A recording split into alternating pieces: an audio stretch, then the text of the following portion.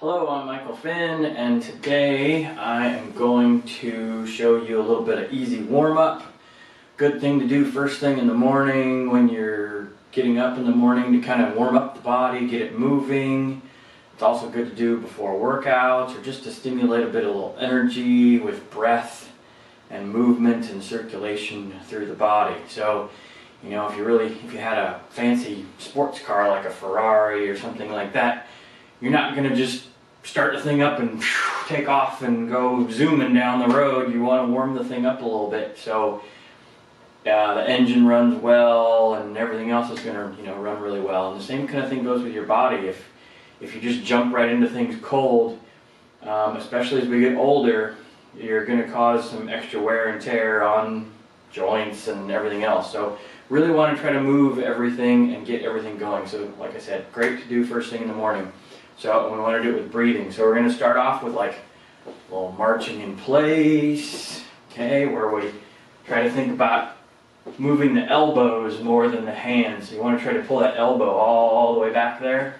All right, and then big breaths, big full breath all the way in, all the way out, fill everything up.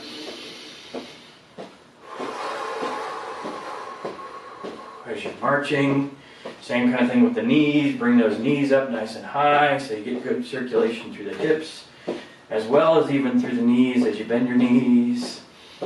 Good tall posture with your spine.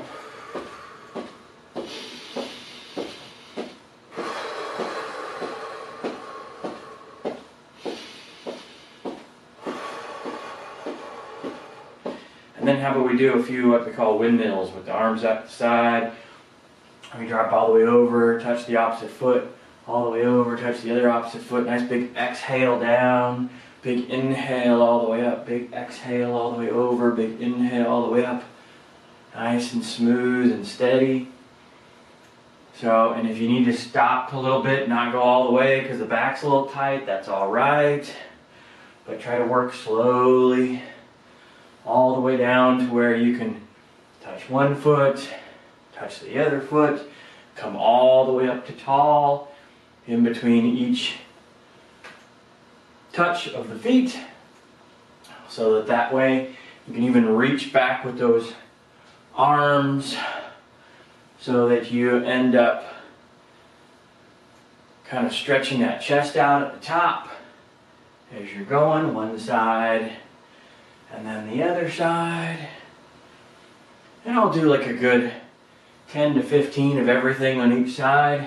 Kind of figure it out for yourself as to what feels really good and what gets everything really loose. And then after those, you could do some big arm circles. Big inhale up over the top, stretching that chest out. Big exhale down around the back. Trying to make the biggest circle you can. Really try to open the chest up and open up the shoulders. You really want to try to lift that chest as you do it and extend that thoracic spine. A lot of people start getting tight in the shoulders and they're not able to bring their arms up over their head because they're so tight in the shoulders anymore. And so we really need to lubricate all that as well as, you know, that whole phrase of use it or lose it. It kind of works that way. So really need to move all the joints to keep them working properly. And then we can go forward as well the big inhale up the back, the big exhale down around the front, big inhale up the back, exhale down the front.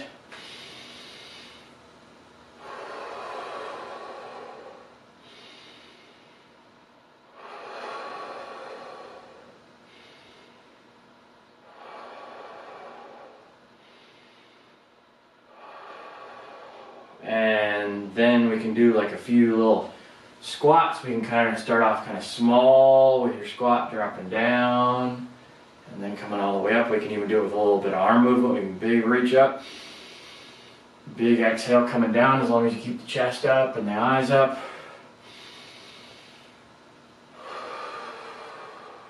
And then as the body gets warmed up, you can sink a little bit deeper into that stretch.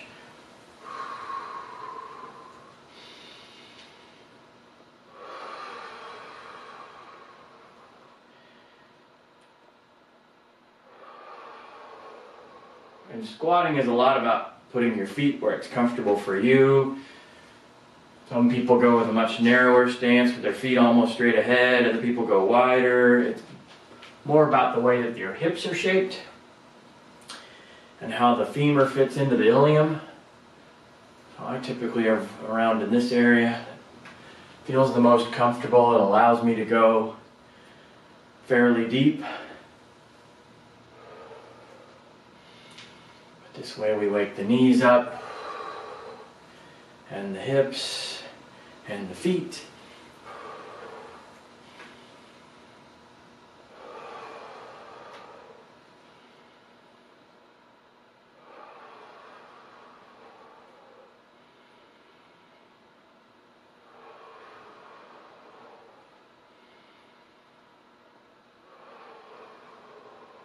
And then how about we do some side stretches.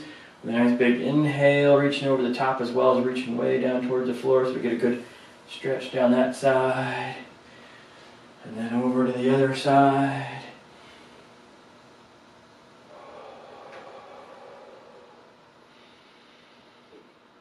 Big full breaths all the way in, all the way out.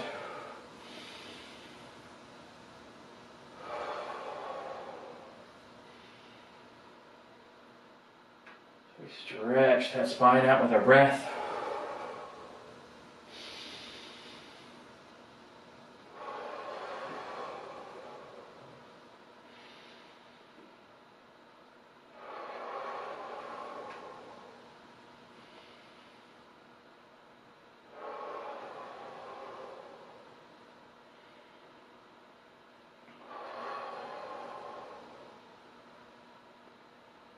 And then how about a little bit of lateral lunging because these seem to be pretty easy on the body too. So if we just start in through here, or we just kind of get to where we can touch the top of the knee, doing a little lateral step, waking up all the lateral stabilizers of the body. Same thing with the breath.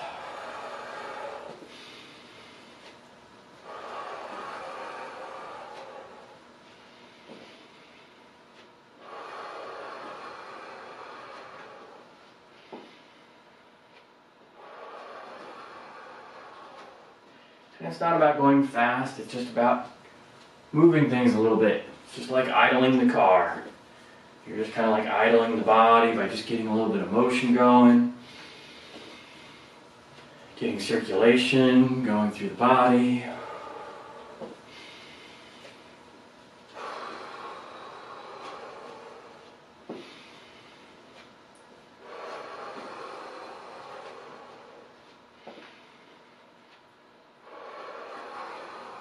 And then we can go a little deeper with it with a little deeper knee bend in through there.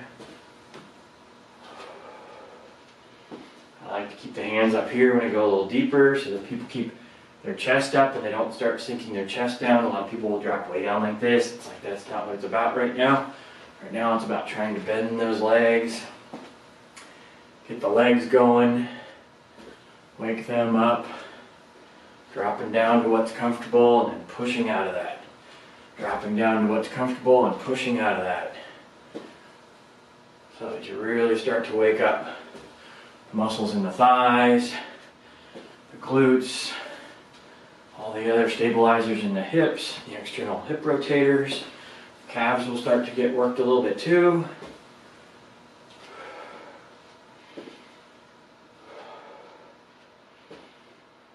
Still breathing with big breaths in.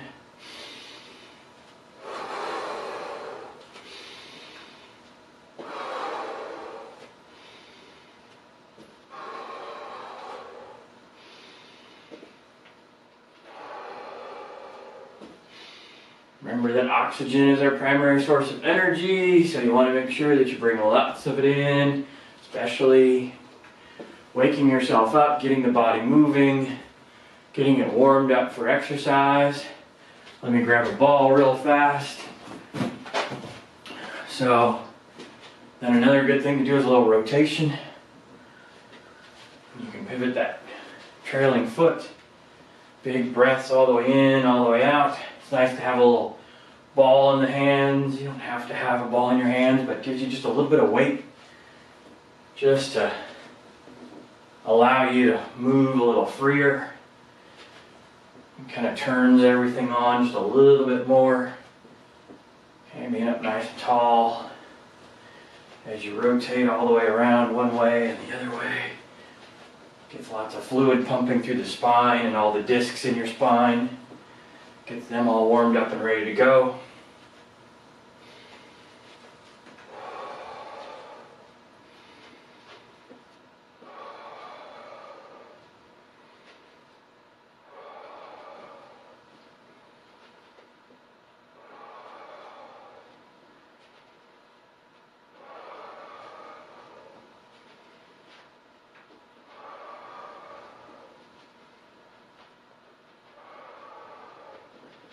That over there.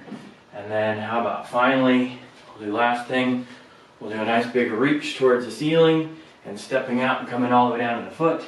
And a big inhale and reach up towards the ceiling and stepping all the way down and reaching towards the foot. Now if things are a little bit tight and you need to start at the knee and going that way, you can do that and then you can work your way down to the middle of the shin.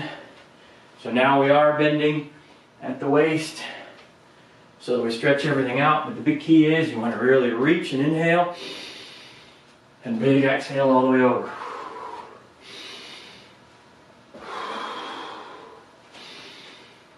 So I like to try to touch those fingers at the top and really try to touch the ceiling too so that you stretch out the shoulders up there.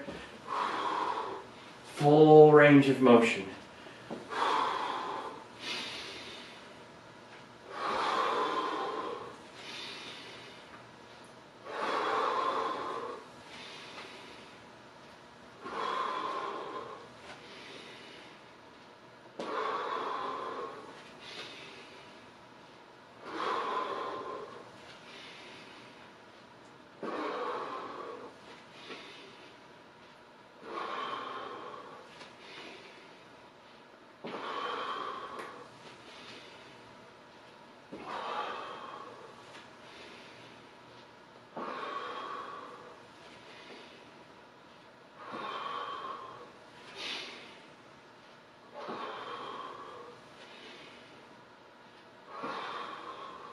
We'll one more each way.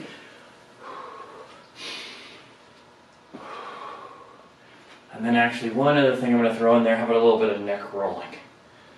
Rolling that neck all the way around. Feel where those muscles might be a little tight. Going all the way around, nice and slow. And then even switching directions. Going nice and slow all the way around that way.